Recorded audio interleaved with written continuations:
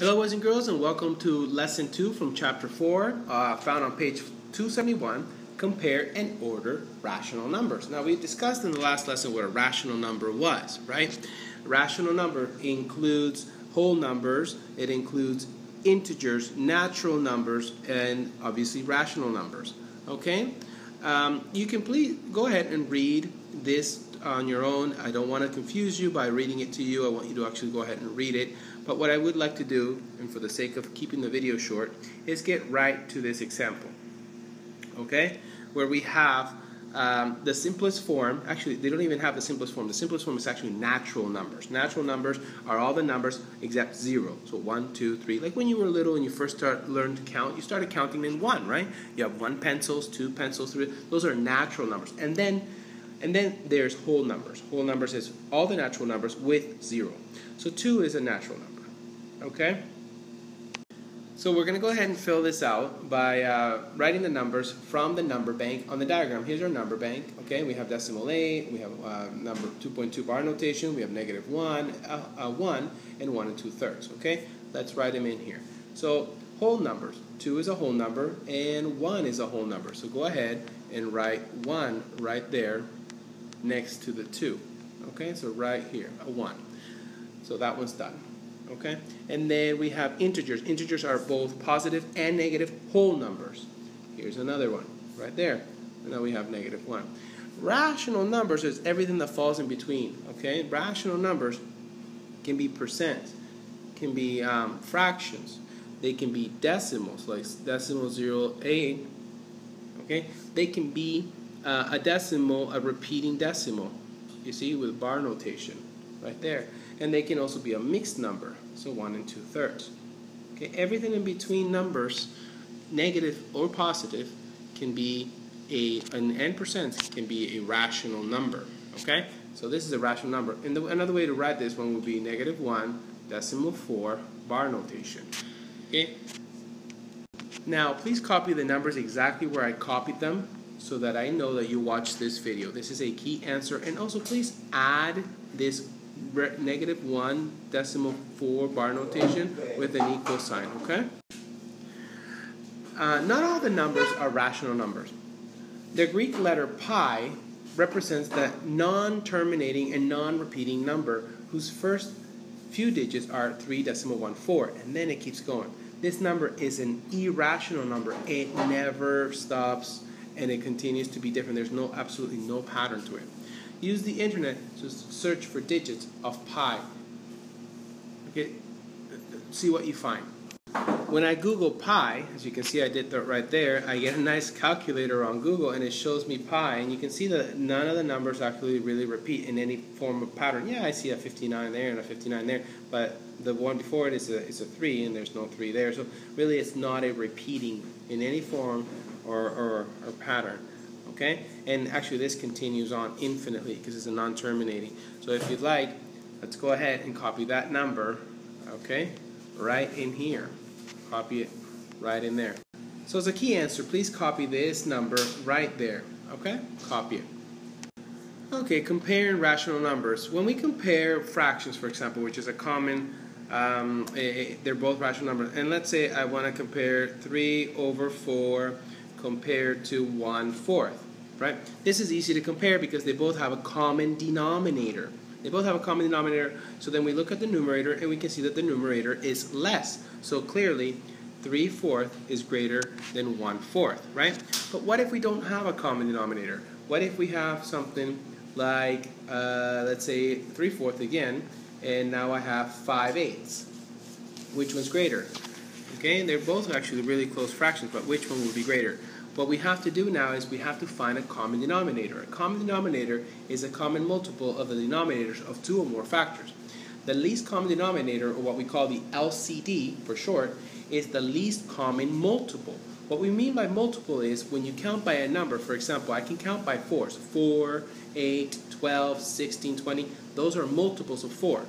And multiples of 8 are 8, 16, uh, 24, 32. Those are multiples of 8 because I'm counting by 8.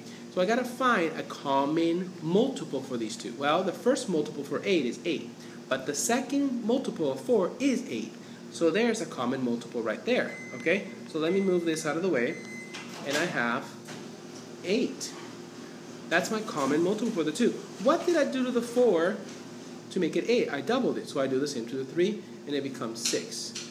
And what did I do to the uh, 8 here? Nothing, so that remains as a 5. So which number is greater? 6 8 is greater than 5 eighths. So 3 quarters is greater than 5 eighths. Remember, if you felt like I went too fast, rewind and watch that again. That's the beautiful thing about videos. Okay, now we can practice that. Let's see, we have, um, you can fill in with less than, greater than, uh, or equal to, okay? And you can see it here, they, they're using this tool, okay, a number line with all the numbers, all the integers and mixed numbers, all the rational numbers um, laid out so that we can see where they are, and that makes it visually easy to compare. Okay, for example one, uh, I believe it is example one, yeah, we are given a number line, right? And we are given the value negative 5 and negative 6. So all the numbers, we can put all the numbers between negative 5 and negative 6 here.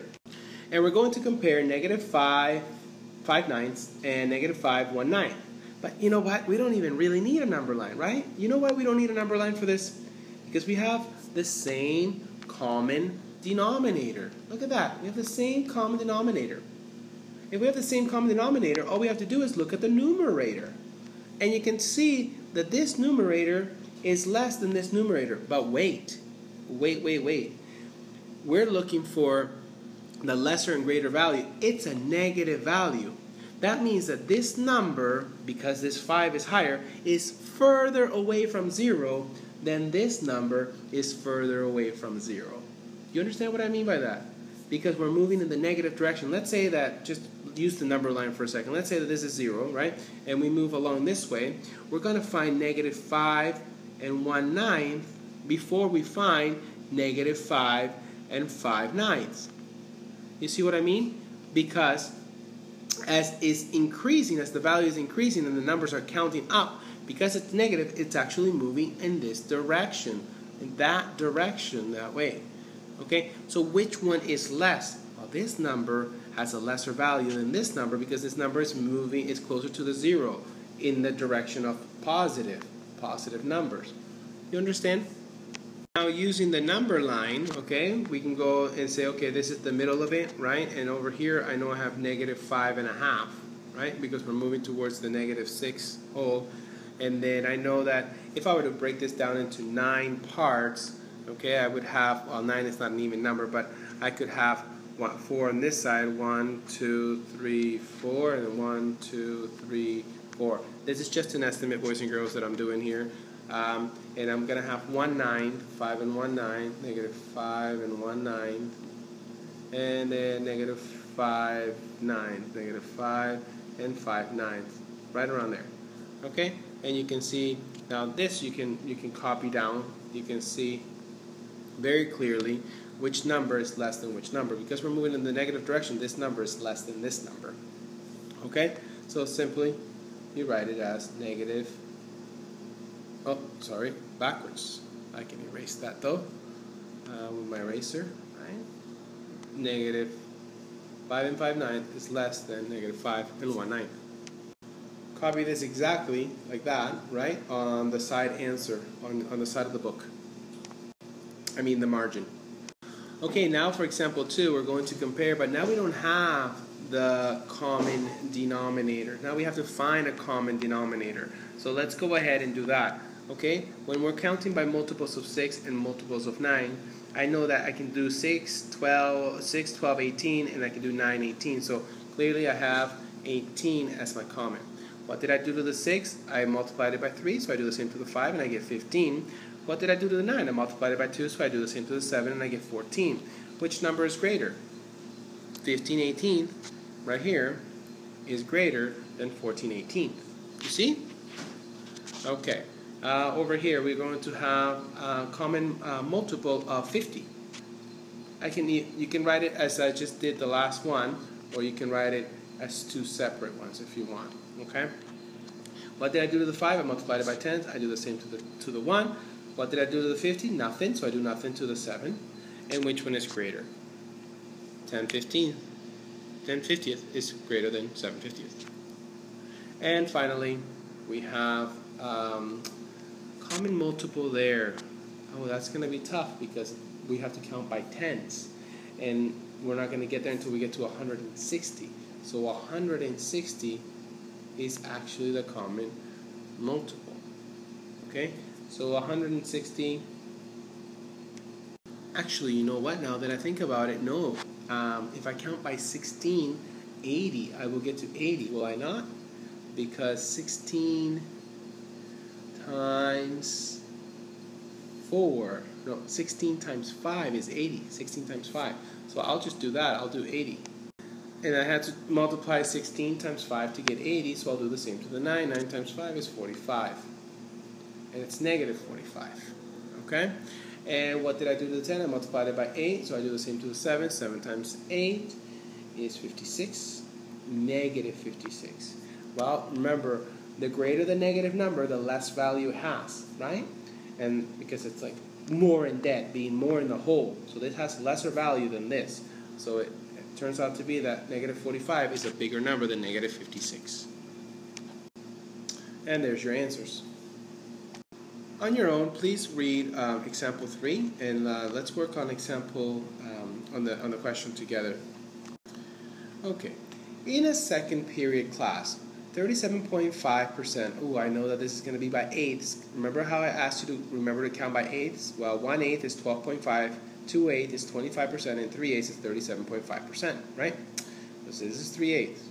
In a second period class, 37.5% of students like to bowl, bowling, you know? In a fifth period class, 12 out of 29 students like to bowl.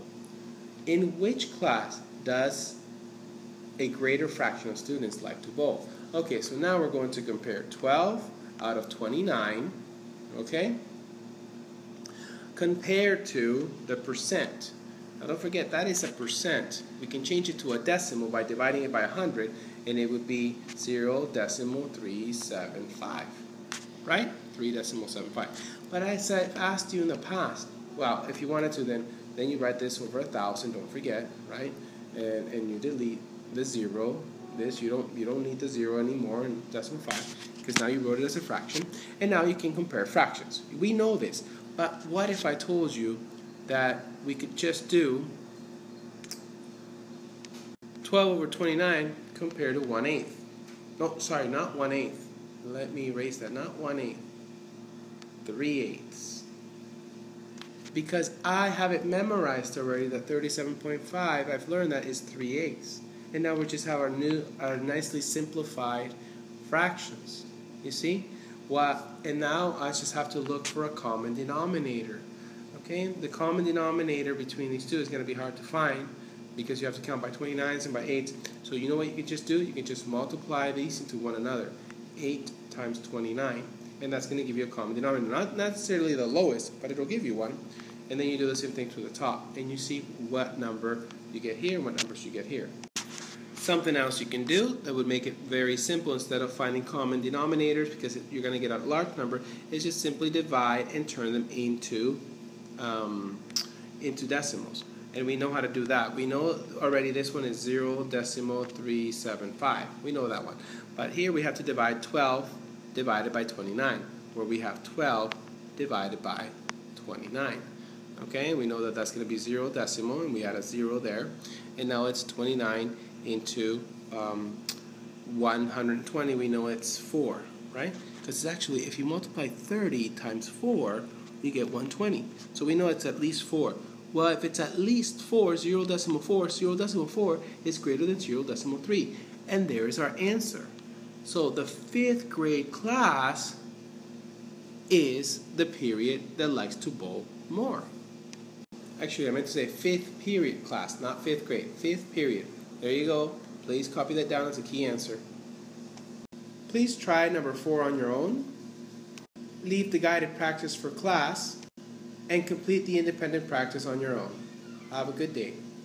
See you in class.